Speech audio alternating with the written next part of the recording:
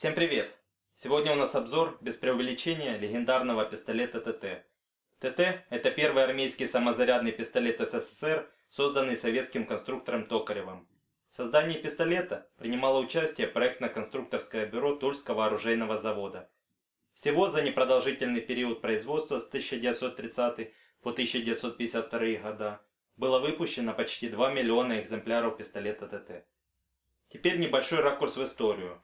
Пистолет ТТ был разработан для конкурса 1929 года на новый армейский пистолет, объявленного с целью замены револьверов «Наган» и нескольких моделей револьверов и пистолетов иностранного производства, находившиеся на вооружении Красной Армии к середине 1920-х годов.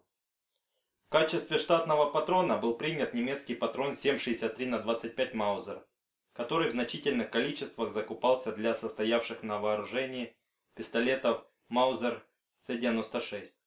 Кстати, в дальнейшем ходе Второй мировой войны этим пользовались немцы, заряжая трофейное советское оружие немецкими патронами 7,63 на 25 мм. Изначально Токаревым на основе американского кольта 1911 был создан тяжелый пистолет под вышеуказанный патрон 30 Маузер калибра 7,62 на 25 мм. Решение скрестить американский кольт с немецким патроном Маузер было принято Токаревым по двум причинам. Во-первых, патроны калибра 45 ACP, применяющиеся в кольте, в СССР не производились. Во-вторых, стволы для пистолета под калибр 7,62 мм можно было делать из бракованных стволов трехлинейных винтовок, а также производить отдельно. На нескольких оружейных заводах имелось подходящее для этих целей оборудование. Да и технология была довольно хорошо отработана. Получившийся пистолет был тяжел, громоздок и дорог в производстве, хотя мог стрелять как одиночными выстрелами, так и очередями на расстоянии до 700 метров. Испытания он не прошел. Строгая военная комиссия отклонила образец, но при этом дала ценные рекомендации по усовершенствованию опытного образца. Поэтому для дальнейшей работы за образец был принят модернизированный Кольт 1911 образца 1921 года.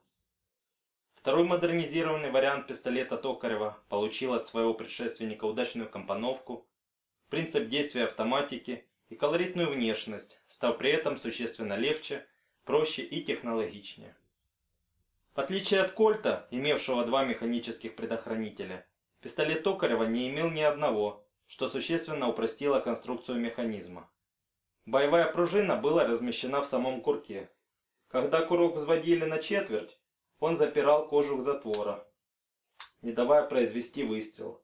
Да и сам курок был сконструирован совсем по-другому.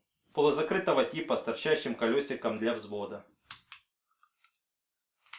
Были у пистолета и конструктивные недостатки. Так предохранительный взвод курка допускал непроизвольные выстрелы. Магазин иногда вываливался в самый неподходящий момент. Патроны перекашивало и заклинивало. Вызывали справедливые нарекания невысокий ресурс 200-300 выстрелов и малая надежность.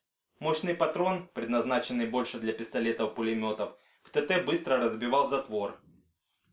Особые ярые критики нового пистолета называли одним из его недостатков невозможность стрелять из него из танка. Из-за особенностей конструкции дула пистолета не пролазила в стрелковую амбразуру.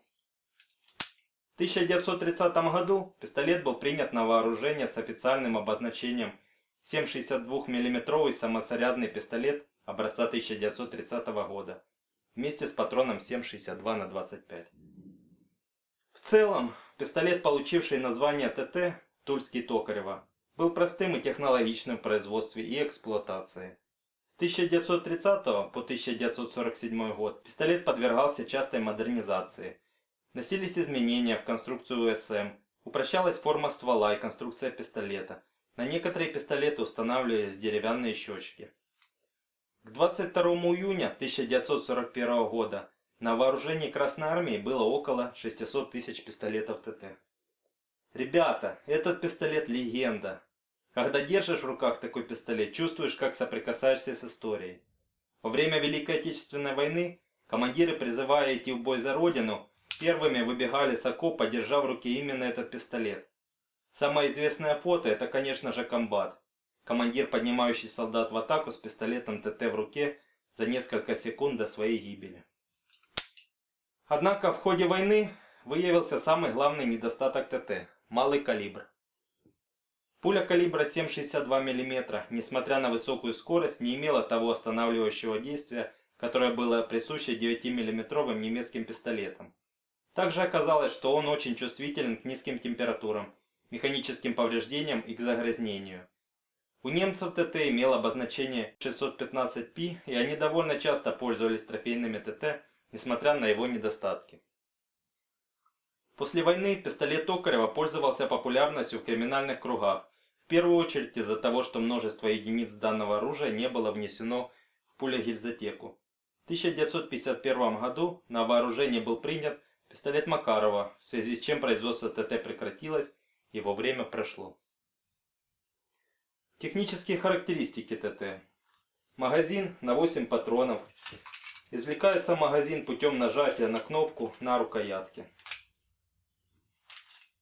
С наличием патронов. Сейчас патронов нет. Кстати, предохранитель в пистолете отсутствует в отличие от того же кольта, в котором двухфлажковый автоматический. Говорят, что советские военачальники, а именно маршал Буденный, настоял, чтобы в ТТ убрали предохранитель. Масса без патрона 850 грамм. Прицельная дальность 50 метров. Максимальная дальность пули около километра. Кстати, насчет патрона. Данный патрон также использовался и используется в пистолете-пулемете Шпагина. ППШ.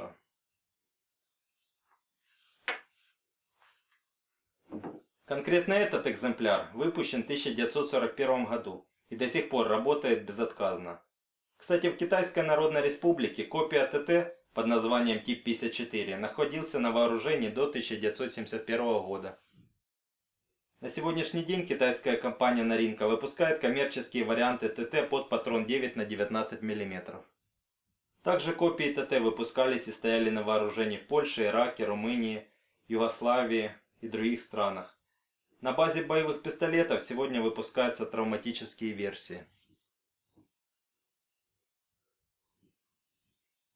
Если понравилось видео, ставьте лайки, оставляйте комментарии, обязательно подписывайтесь на канал. Будет еще много интересных видео на оружейную тематику. Всем пока.